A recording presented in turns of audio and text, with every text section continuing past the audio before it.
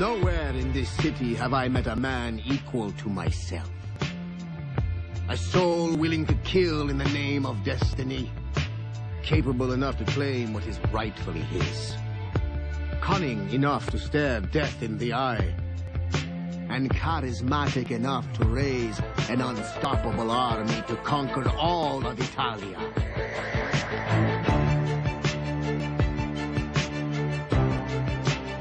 What are you going to do?